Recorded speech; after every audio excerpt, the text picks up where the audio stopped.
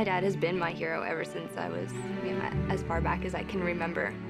He was that person in my life who was stability and security, and he was very motivating and inspired me to do skeleton. He made me his priority and made sure he gave me every opportunity possible to, to have success in my life, and I most definitely wouldn't have an Olympic medal if, if it weren't for him.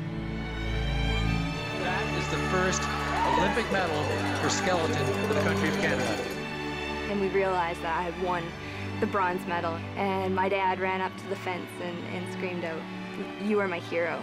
And uh, it was a pretty emotional moment to just take off the medal and put it around his neck to know that uh, you know, this, this is something that he was a huge part of.